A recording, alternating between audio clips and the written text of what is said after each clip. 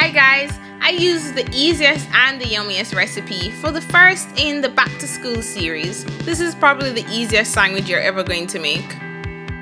First you're gonna need an apple, I use a yummy green one. Peanut butter, I used crunchy. Or Nutella. And a knife. So first you're gonna cut the apple very carefully with the knife Cut the top part a little thick. Now the middle, the third part, and let's just leave the end. Okay, I'm gonna make two thinner sandwiches from this one apple. So now I'm just gonna cut off the very bottom part.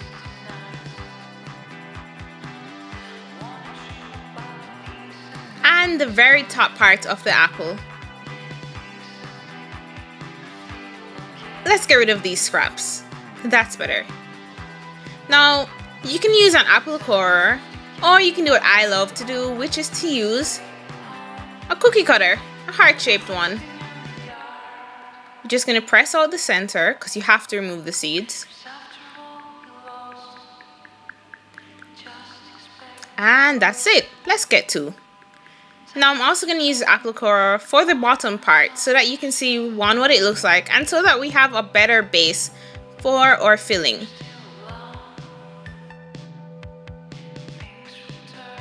Let's get to.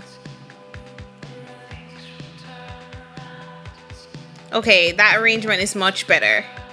Now, let's move this out of the way and start with the peanut butter. I love peanut butter.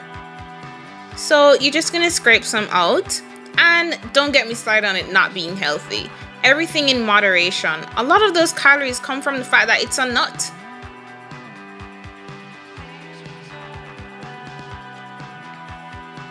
I know my jar is empty. so you're just gonna put this on the bottom part that has a smaller hole. Just like that.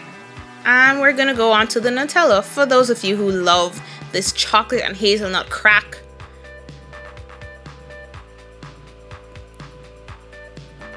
Whoever made Nutella, I love you.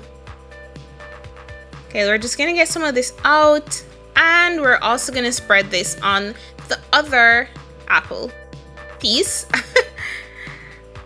Nutella gets messy, so be careful.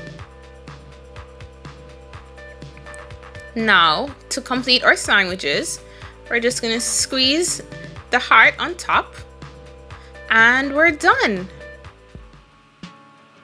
Wasn't that easy? This is such a great after school snack. And what if your peanut butter Nutella gets messy? That's easy.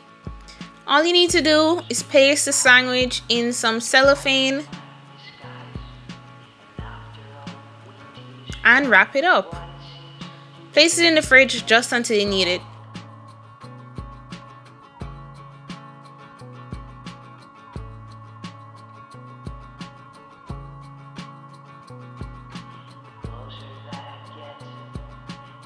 Looks like this sandwich is Jessiker Bakes approved.